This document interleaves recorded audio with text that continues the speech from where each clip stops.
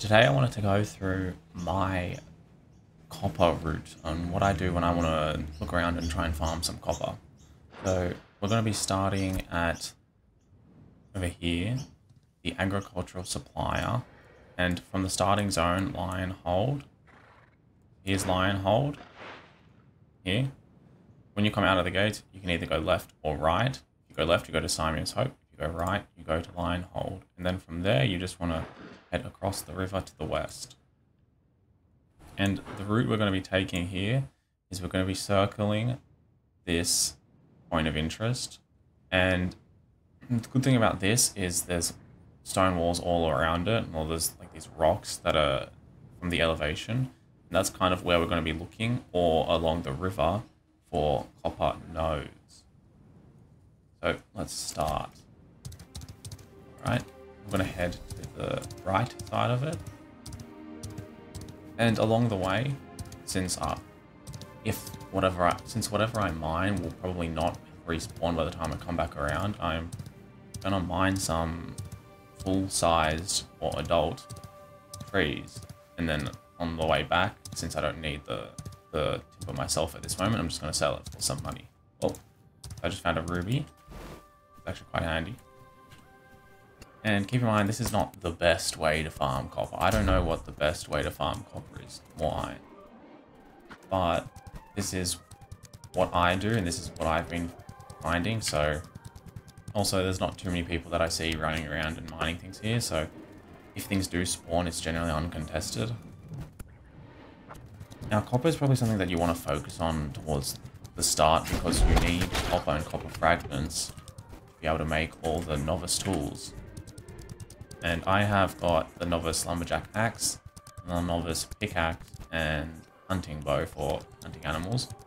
The main thing is that you're upgrading is not the speed increase, because realistically that's like hardly anything, and you're not going to notice the difference, but it's the durability. On these Novice tools, it's 150 durability compared to the just beginning, the crude versions, the ones you get from the intro quest, where it's 60. Also, my computer is not like up to date with equipment and whatnot, so I'm, I'm playing this game on low. Um, but it is still playable, but you're not going to see the best, the best graphics from this. Alright, so now you can either loop back around, you can check up on this outcropping, there's some sapphire, or you can go around here. Sometimes you see things here, see slate, alcyonite, iron, lots of iron. Hmm. Alcyonite.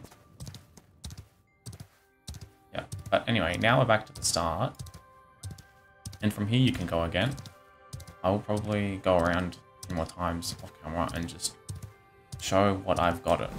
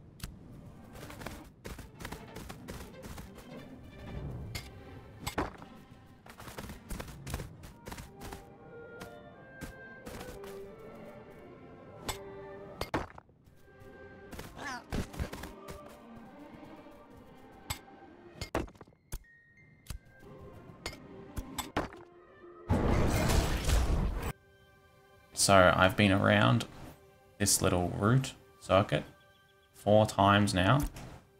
And I got quite some good loot, and some runs I got pretty much nothing. So, like uh, on the second route, second run around, I got no copper at all, no rubies, just about nothing. I think I got two zinc. And on the third time around, I got like 25 copper. So, we've got four rare ruby, and this is from four goes around my route, the Church of the Seven stars. 35 common copper, 2 common ruby, 17 common zinc, 10 uncommon copper, 2 epic ruby. This one was really cool when I found it. Anyway, 5 common, uh, 5 rare copper.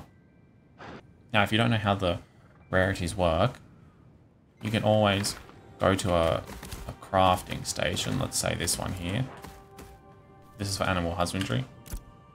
And you can see the rarities here. So it goes common, uncommon, rare, then heroic, then epic, then legendary. Yep.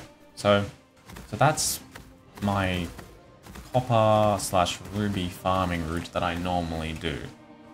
Now, this isn't the best, you know, you're not, you're not min-maxing your time probably by doing this, but also it's the best thing that I have found.